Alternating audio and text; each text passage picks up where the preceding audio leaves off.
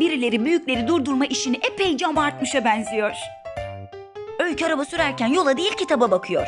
Ah be Öykü düşürdün güzelim kitabı yere. Araba sürerken kitap mı okunurmuş hiç? Öykü yoldaki tehlikenin farkında olmadan kitap okuyor ya da kayıyor. Yapma be Egemen. Kaydırağı tersten tırmanılır mı hiç? Azıcık gol yapsaydın be kızım. Çok belli olmuş kitabı bilerek attın. Oo Egemen, dört tekerli bisikletine güvenip kitap okumaya başlamışsın. Aa, Egemen okumayı biliyor muydu ya? Aman be Öykü, çarptın minicik çocuğa. Yazık çocuğa vallahi. Ah canım kitabım, sana da yazık tabii. Kız, çabuk kaldır kitabı yerden. İçinden gelen sese kulak veren çocukların ve büyüklerin kitabı. Biri büyükleri durdursun.